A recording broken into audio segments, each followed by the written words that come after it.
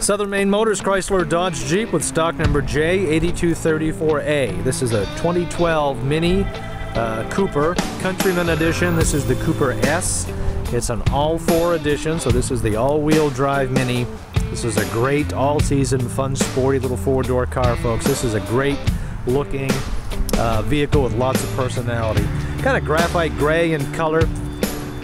Very nice condition, about 45,000 miles. This has 17 inch wheels. It's an aluminum alloy spoked wheel. Uh, all season Bridgestone Dueler tires on board here throughout.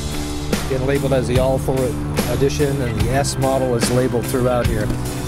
Uh, this has some real unique features. These Coopers are just are just uh, very well thought out uh, and stylish cars. A lot of unique contemporary designing here in the door well for you. Harman Kardon upgraded audio system throughout. You're going to see adjustable, height adjustable, as well as forward and back, of course, on the bucket seating. Very form-fitting bucket seats here for the driver passenger. Leather wrapped wheel, cruise control, and uh, a lot of the standard things you're looking for, just in a lot of different places here. We got center mounted uh, window controls here, as well as a locking device, heated seats here on both front and back.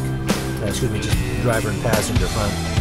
Uh, CD player here with navigation system looks to be on board. The Mini has a very unique uh, speedometer. I'm gonna go ahead and show you how this thing works. I just love the way this is set up. It's got a push, a push-in key system here.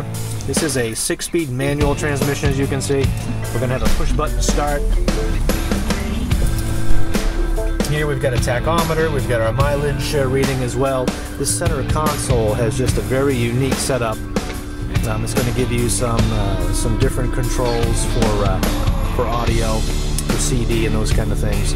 Um, just has a real unique look. We're going to have uh, kind of a eye socket style vent ports here throughout. Above, we've got some controls for lighting and some ventilation here as well.